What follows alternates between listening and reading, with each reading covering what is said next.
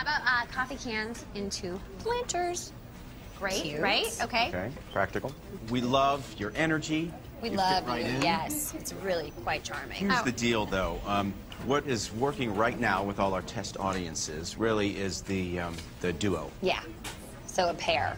We're just going to start off with a little test of uh, you introducing yourselves, introducing the show, Okay, and then we'll go from there. How does that sound? Okay. This is going to be. All right, have fun. I can tell it is already. Okay, we need more wine. Great things like a bench. All right, look, I'm gonna stop you right there. I know. I mean, sure, the oh, the late nights, the makeup, the clothes. You're I'm a gay. zombie. What? that? Wait. Gay. A zombie? What's wrong with my clothes? What the hell?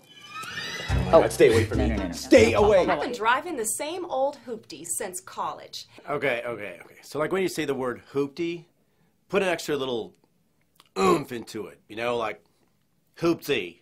Oomph? Yeah, you know, like attitude. Like, you want me to roll my neck? Sure. You know, if that's what you're feeling. I, I'm just asking that because you keep doing it. Yes, then do that. Just, you know, do what comes naturally. Okay? Well, that's a whole different response than "Hey, I'm a zombie" or "Hey, I'm gay," like I thought you were, and still am a little questioning of. So you're gonna be alive again. Cool. People have been doing it for years. What do you? You want a parade? I'm sorry that we've had to come to this, Jim. Tom, my name's Tom. Don't play coy with me, Steve. Tom, it's Tom. Do you know that two thirds of Americans believe that torture is justified?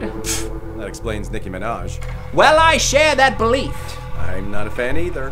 Have any plans for the weekend? Yes. Yes, I'm. Uh, yes, I do. Yep. Yes.